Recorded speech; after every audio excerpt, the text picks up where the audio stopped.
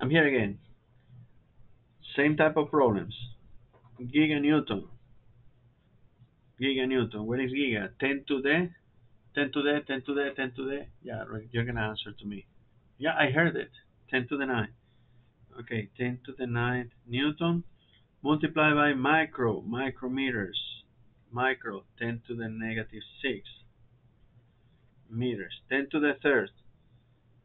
10 to the negative 6. That means 10 to the third Newton meters. Now, once again, I just said in the previous video that the prefixes are better better seen applied to the distances than to the forces, but in this case, it's better seen applied to the force than to the distance because kilonewton is kilonewton meter is a more coherent unit than newton kilometer. So follow the follow the form, follow what makes sense, follow what sounds better. That's what you have to follow, basically. So that will be kilonewton per meter. But keep in mind that some crazy people can say also newton kilometer, even though that doesn't, that's not a very common unit that you can use in any engineering realm because newton per kilometer is a very, very, very, very small amount of moment, extremely small amount of moment. But kilonewton per meter is a more usable unit in this case. Now, next one, kilogram micrometer. So kilogram uh, is 10 to the third, right? Let's put it there and then we'll see what happens. 10 to the third micrometer is 10 to the negative 6 meter. No prefixes here. That's what I'm looking for.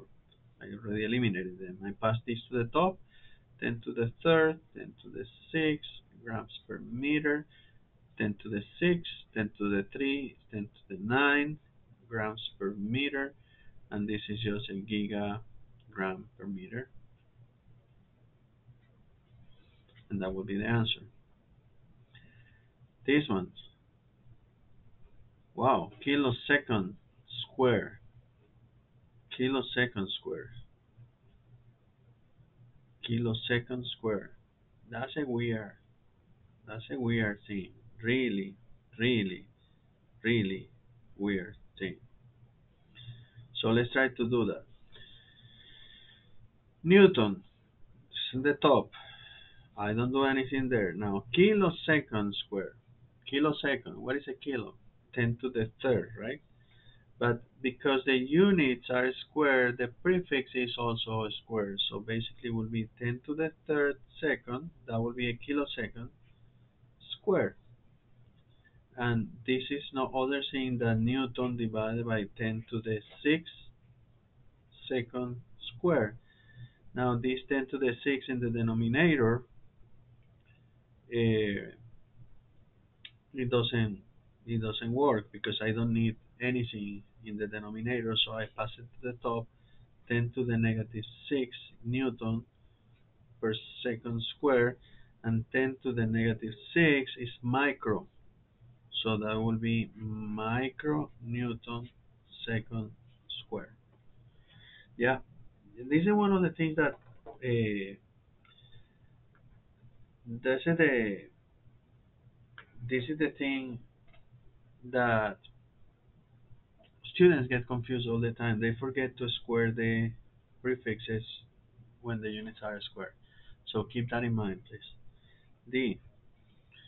Kilonewton, microsecond. Well, same procedure, same old, same old, same difference. 10 to the third Newton divided by microsecond, 10 to the negative 6 second. I'm getting tired of doing this, let me tell you. I'm doing this for you and only for you. 10 to the third, 10 to the 6, Newton second, this is 10 to the 9, these two, and 10 to the 9 is giga, giga Newton per second. Perfect. Uh, there was a Venezuelan a journalist. Uh, I'm sorry, there was not. There is. I'm really killing the guy.